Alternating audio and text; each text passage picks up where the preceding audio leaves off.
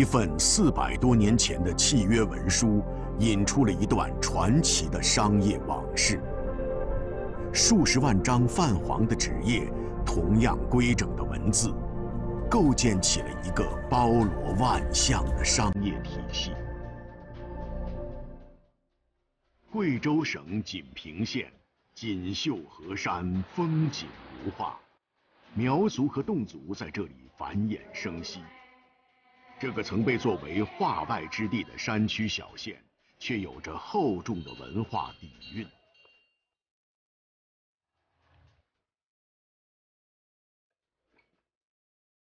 以锦屏文书为代表，锦屏人在青山绿水的画屏之上，绣出了一朵朵绚烂的文明之花。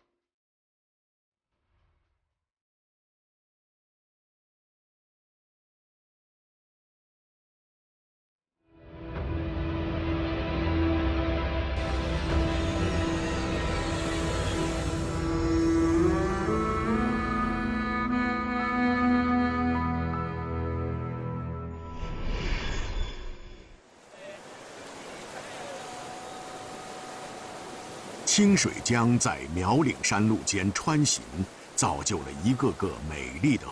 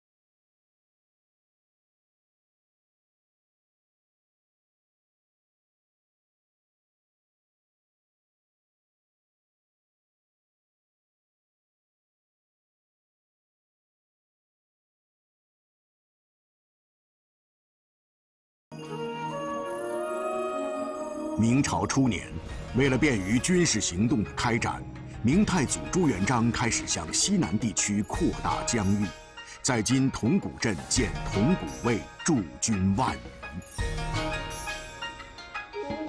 屯军带来了中原地区的先进生产技术，也促进了锦屏地区的经济发展和商业繁荣。然而，清取代明朝为正统后，元明朝所设的铜鼓卫失去原有意义，铜鼓卫城开始逐渐衰落。与此同时，铜鼓镇附近一个名叫王寨的村落，却因木材贸易悄然兴起。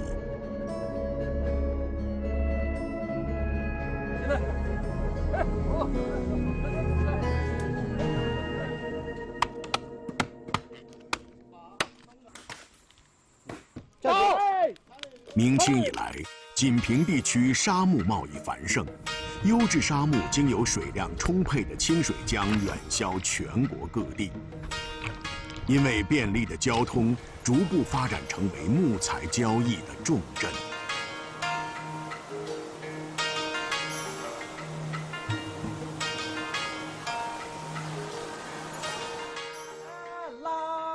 这座古色古香的大宅全由沙木建造。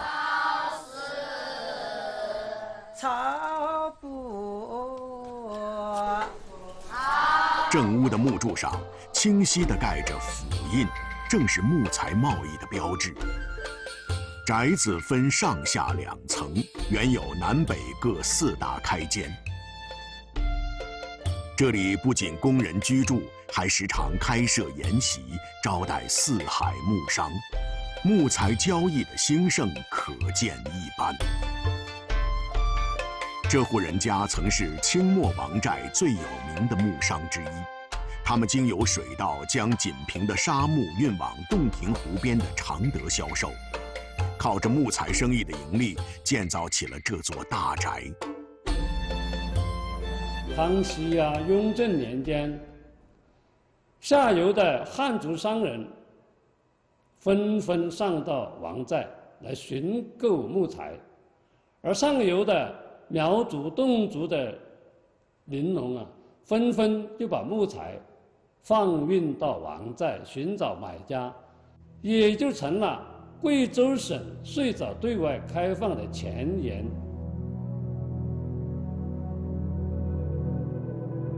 清朝雍正五年，也就是公元一七二七年，铜鼓为废位设县，取锦绣画屏之意，得名锦。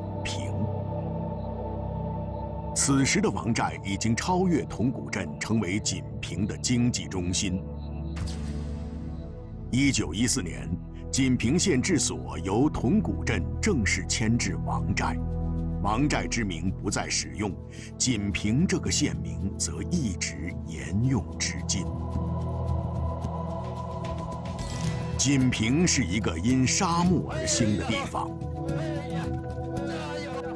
一棵棵古老的杉树还在诉说久远的故事。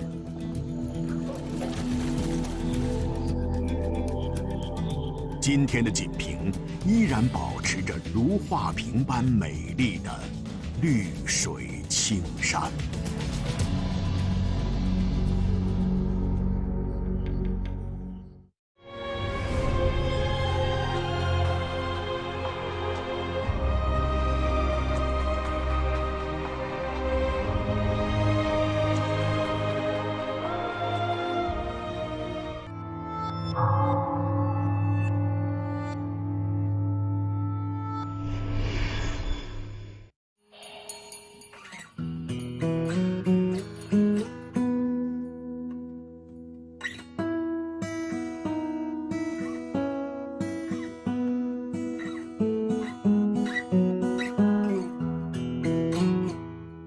零一八年，一首曲风古朴的民谣歌曲在网络上传唱开来，歌曲名叫《老铃铛》。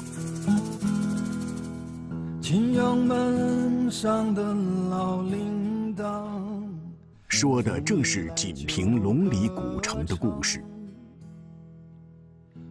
对他们来说，哈，故乡在远方，但是家乡在龙里，所以我歌词里面会有写到有远方的芦苇荡。然后，但是也有我们贵州的起雾的香港，就是说，故乡和家乡的双重印象一直在他们脑海里面。故乡是用来思念的，但是家乡是用来守望的。轻柔舒缓的旋律，几乎让人忘了古城曾经的刀光剑影。唱情歌悠长的明朝初年，一千多名官兵带着他们的家眷来到龙里为国戍边，从此再没有回到故土，龙里成了他们新的家园。这是一座能战能防的军事堡垒，城墙高近四米，城墙上跑马道。城内以千户所衙门为中心，往东西南三面开出三条主街。街巷的交叉不是通常的十字形，而是丁字形。这样的设计严格遵循当时的作战需要，一旦敌人入侵，就可有效地进行防御。后来，随着军事作用慢慢消退，这座堡垒逐步转为民用。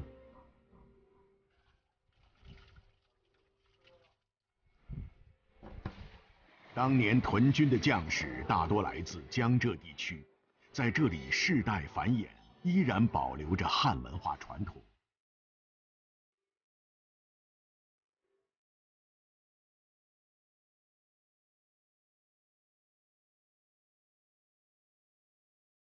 邓曼飞三年前来到龙里定居，他最爱做的就是穿行于古老的街巷，感受龙里军屯文化的独特魅力。古城民居的青砖灰瓦、飞檐瘦脊，透露着江南韵味。一道道匾额，一副副楹联，道出居民们的郡望和门第，也在彰显着龙里人的文化风骨。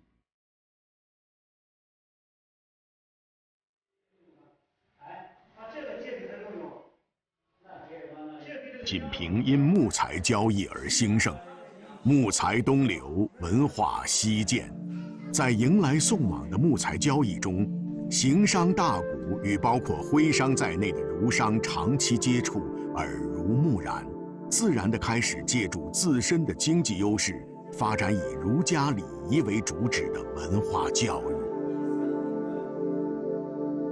在龙里古城中有一座龙标书院，龙标就是唐代著名的边塞诗人王昌龄，因被贬龙标为尉。时人称之王龙标。王昌龄贬官途中经过贵州，李白听闻此事，以诗相赠：“杨花落尽子规啼，闻道龙标过五溪。我寄愁心与明月，随君直到夜郎溪。”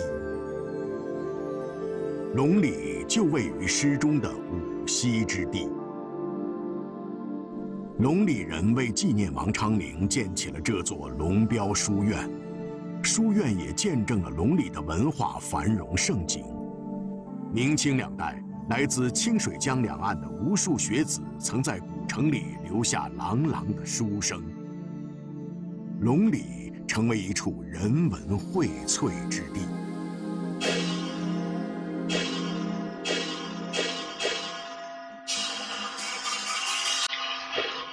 今天的龙里古城，既有明初移民留下的江南韵味，又有商业兴盛带来的儒商风范，再加上几抹苗侗风情，形成了独具特色的文化品格。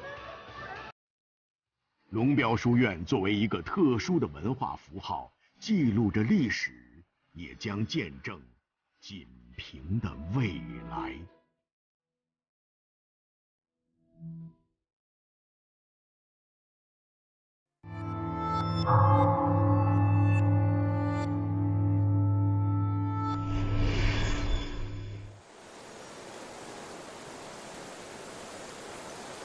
碧玉般的清水江是锦屏的母亲河。清水江两岸山树林密布。沙漠建起了苗族人、侗族人的家园，也承载着他们的文化和记忆。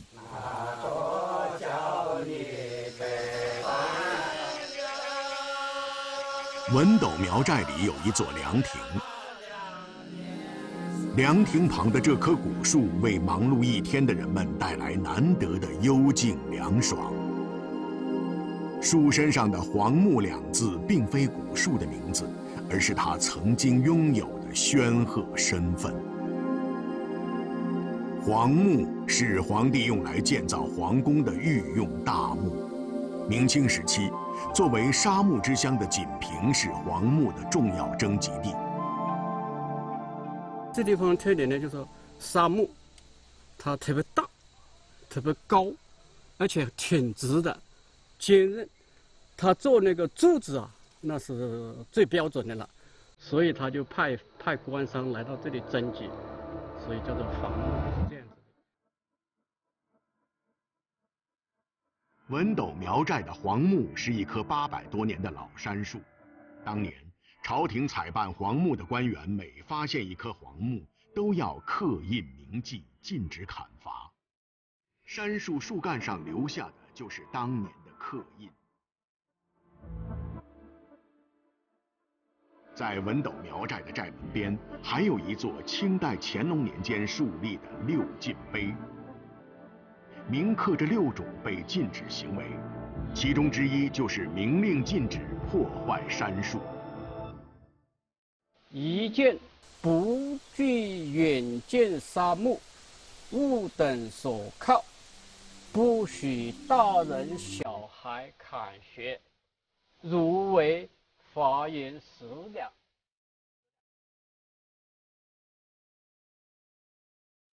两百多年前的村规民约依然还在规范着人们的行为。对杉树的保护和尊崇已经渗透进锦屏人的血脉中，深刻地影响着他们的风俗与信仰。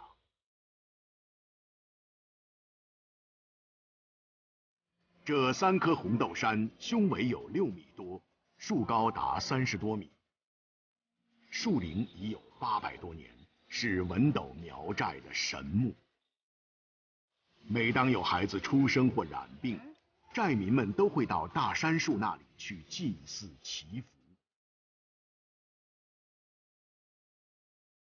文斗苗寨的人们相信老树有灵，必将护佑年轻的生命。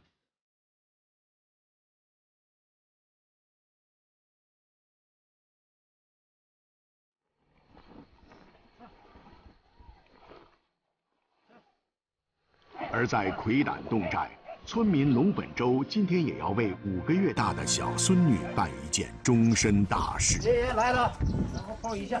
爷爷抱抱。哎呀，不要哭了。在锦屏侗族人的民俗中，每个女孩出生的那年，长辈都要给她栽种一片杉树林。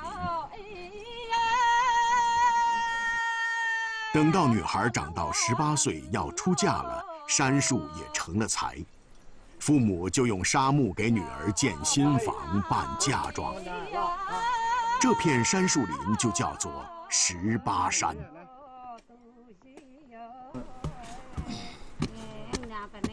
如今，侗族人家的婚嫁早就不必仰赖十八山，不过父母依然会为孩子种下树苗，也种下美好的心愿。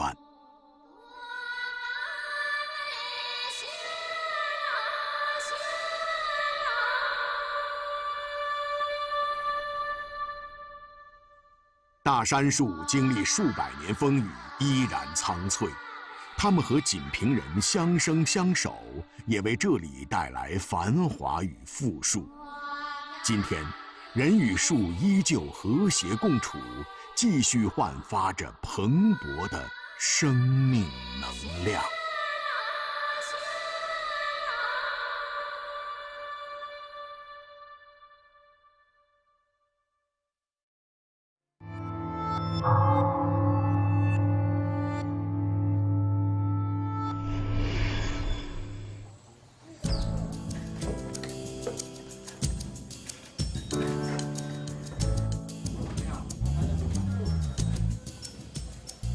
农历六月初六，锦屏县文斗苗寨的寨老江高松老人都要把家里珍藏的契约文书拿出来进行晾晒。对他来说，这是一年中的头等大事。晾晒，哦，因为这个契约装在这个柜子里面了，它有潮湿，所以拿来晒呢，它就把水分蒸去了，它也把虫啊也晒跑了。这样起到保护契约的作用。六月六晒契是锦屏苗侗村寨的传统民俗。这些契约文书有的已经有数百年的历史，上面的契约条款却依然还在发挥效力，甚至直到今天还能作为解决纠纷的重要依据。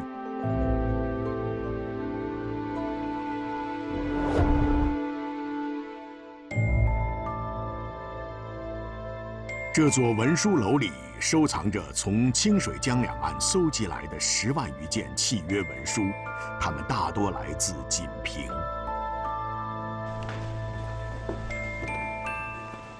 这一件就是我们馆里面保存最大幅面的一的一件，这件总长是二米二，宽五十二公分。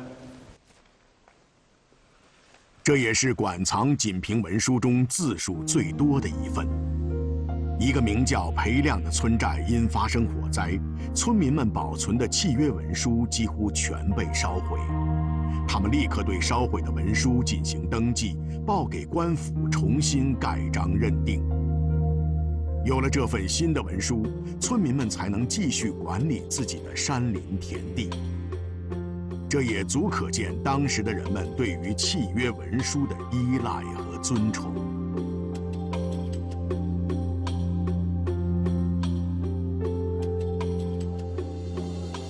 明清两代，清水江两岸沙木交易的繁盛，吸引大量的苗族、侗族居民在锦屏进行人工造林和木材贸易。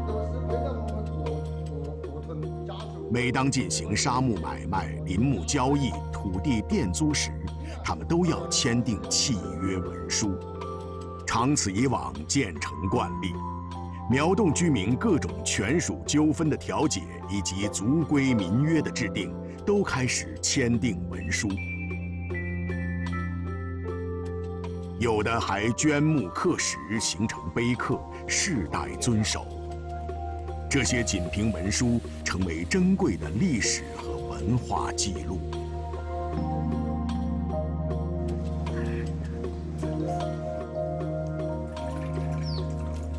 高奇才，清华大学法学院的教授，锦屏文书是他研究的重要课题，他因此也成了锦屏各个村寨的常客。哦，这挺挺考究的啊。这户苗族老乡家里保存了二十多件契约文书。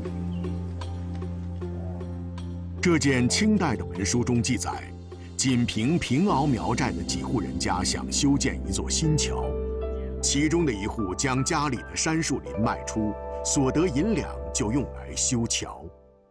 呃，卖了一块山，这些人的山，把这个修桥的钱给他们四个人。是这份契约吧？苗族和侗族虽有语言，却没有本民族文字。几百年来，仅凭文书都是用汉字书写。在高奇才看来，共通的文字背后是文化的交融。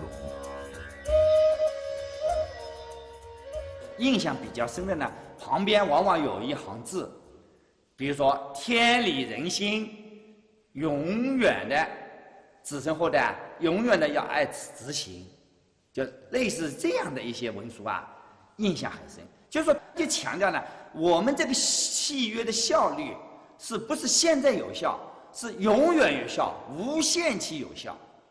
强调呢，要守信、遵约，一定要按这个起来，后代子孙不得反悔。锦屏文书由侗族、苗族居民签订，却由汉字书写，内容不光蕴含着商业繁荣带来的契约精神，也体现着儒家传统的诚信与仁善理想。正是这种跨学科、跨文化、跨时代的丰富性，让越来越多的人开始关注和研究锦屏文书。一份份文书就是一段段社会生活的真实记录。数百年前，仅凭的侗族、苗族人民就已经学会运用和尊重契约，由此而生的制度与规范、伦理与信仰，至今依然影响着后世的人们。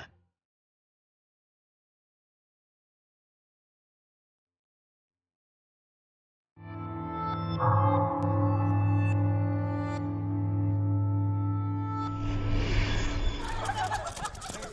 我们要倒水车一样，像火一样倒水车，水车一样，像火一样倒水车，对，要严肃，要认真。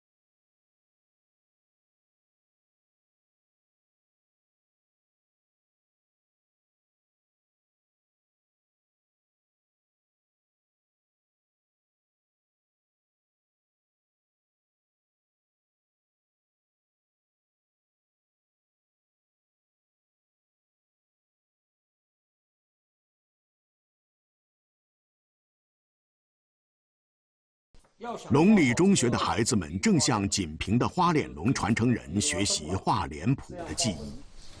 这次表演将是他们第一次登上长新节庆典的舞台，他们心中都很期待。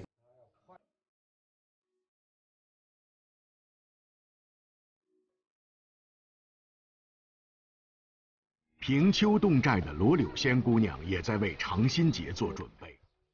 那一天正是她出嫁的日子，在人生最重要的时刻穿上最美的嫁衣，这是每个侗家姑娘的理想。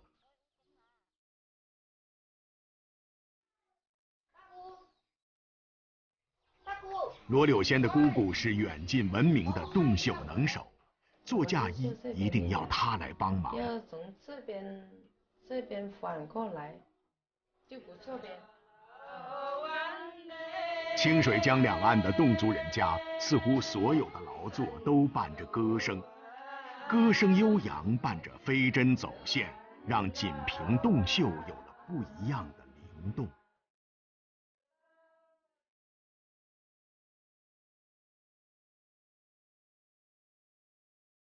侗家的传统服饰都是用自家的织机织成的土，织好的棉布要用特制的蓝靛叶进行漂染。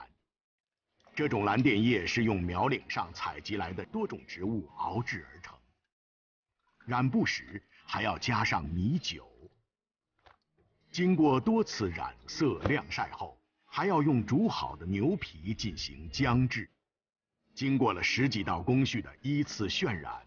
洞布将会幻化出独特的闪亮色泽。锦屏洞绣工艺复杂，绣好一件洞衣要花上一两个月的时间。婚期将近，罗柳仙的嫁衣也快要完成了。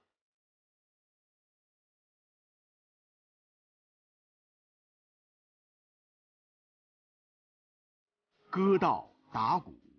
再用当年第一季的新米蒸上几锅上好的米酒，长新节的庆祝就拉开了帷幕。长新节又名吃新节，是锦屏侗族人的传统节日。在每年的早稻成熟时节，家家户户收获新米，供奉祖先。侗家儿女穿上节日盛装，载歌载舞，欢庆丰收。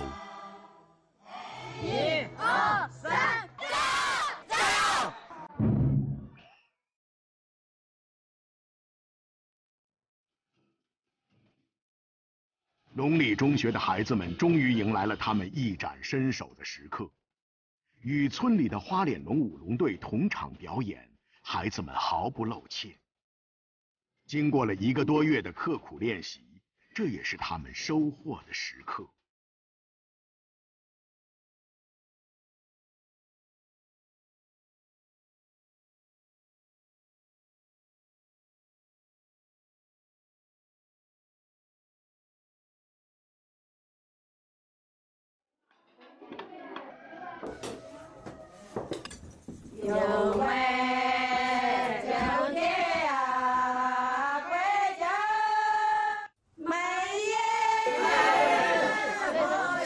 穿上亲手绣制的嫁衣，平丘洞寨最美的姑娘罗柳仙也迎来了一生中最幸福的日子。很多侗族年轻人都会选在长新节办婚礼，丰收时节喜宴自然丰美。侗歌与美酒交相辉映，满载着祝福与喜悦。爬上新郎有力的脊背，在亲友的祝福中，侗族姑娘罗柳仙开启了一段新的人生旅程。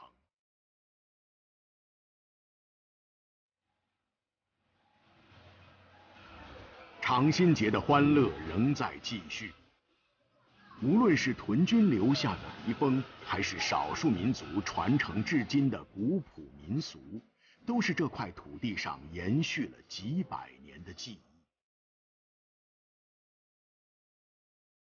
锦屏在以自己的方式记录历史、保存传统，也在创造和品尝新的成就。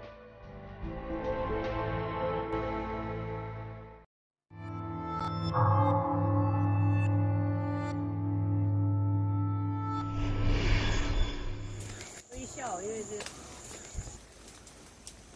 你在你的，你不要看你看我这。七十八岁的单洪根老人是一位资深摄影爱好者。几十年的时间，他拍摄了大量有关锦屏林业发展的照片。这一张照片呢，是我在清水江水运局了以后的七六年拍的，反映了当时清水江木头水运局承受每年承受的木材收购的任务是很大了，每年一进一出就是将近四十万立方米。锦屏有句老话。天下屋，三江木。清水江、亮江、小江三江在锦屏县城汇合，造就了木材运送的黄金水道。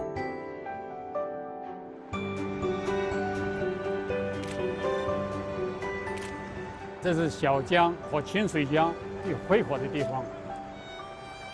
整个清水江一两百米宽，啊，木材把它覆盖了。船要通过都非常难，啊，就必须把那木牌扒开，扒开以后船才能通过。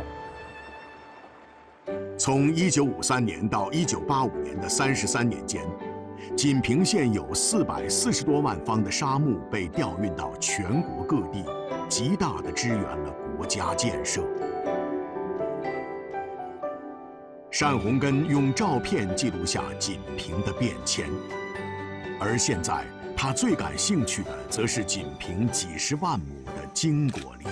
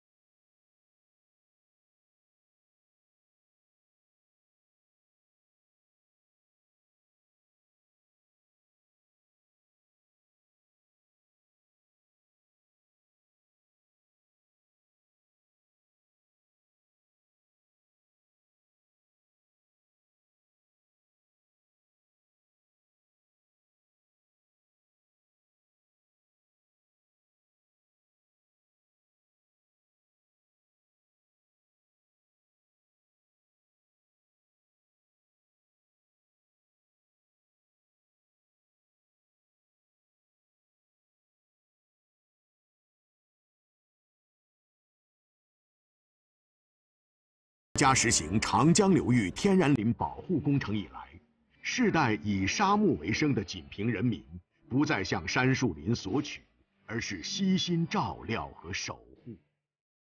而十万亩的土地有序流转，又变成果园，承包到千家万户，成为了苗侗人家新的经济来源。啊，你按了作业。啊，OK 了。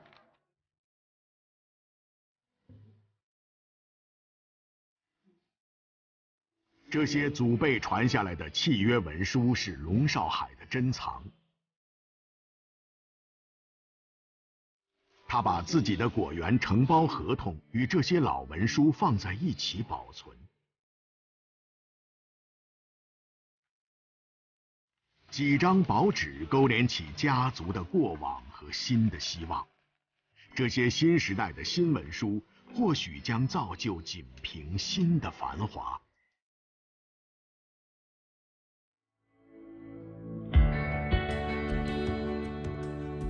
锦屏文书楼从2010年开始规划建造，2015年正式投入使用。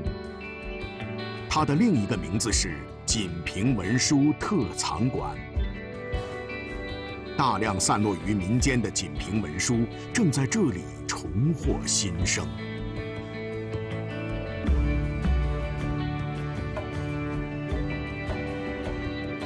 锦屏人特意把文书楼修建成大杉树的样子，杉树陪伴着锦屏历经千年岁月，为这里带来生机与繁华。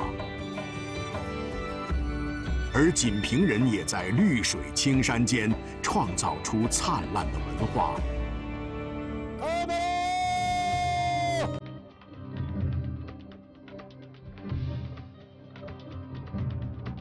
文殊文化。军屯文化、牧商文化、苗侗文化，它们凝聚成锦屏的精神传统，永久珍藏于文书楼中，也将铺就锦屏未来的发展之路。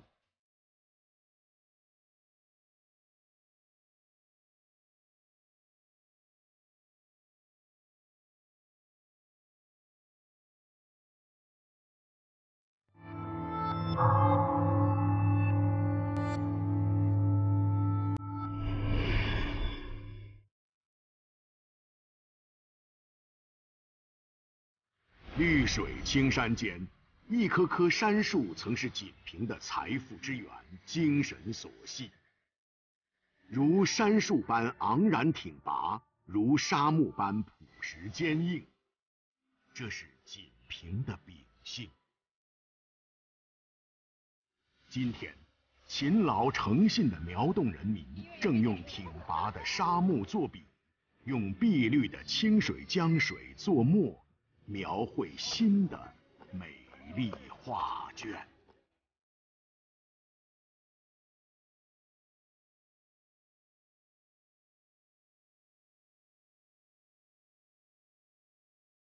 一段商业传奇背后是诚实守信的文化风骨，不同文化交融而生的是厚重的文化底蕴。